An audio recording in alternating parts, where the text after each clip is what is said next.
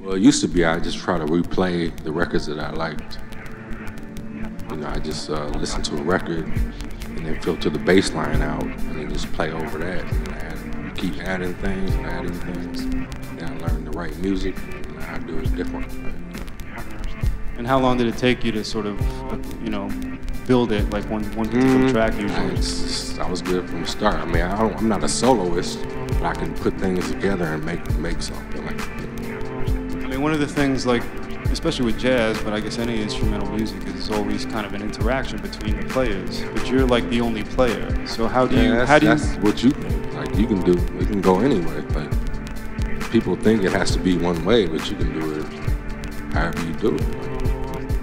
I'm saying, how are you able to? I mean, it's it's amazing. Like, how are you able to sort of like play off something that you're not necessarily hearing yet? You know what? I don't even think about it. Like I just do it. That's the problem. I can't articulate. I don't, I don't think about it. Like I just do it. Like So, let's let's sort of say, for example, you're gonna sit down and you're gonna um, this is a day you're gonna create some music. Like, what's a typical every day.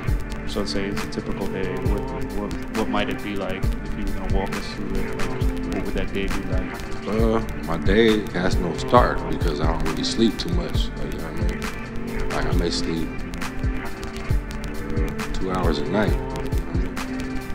and then two hours might be at 3 p.m. or I mean, it's, always different. So I'm just creating music constantly, kind of.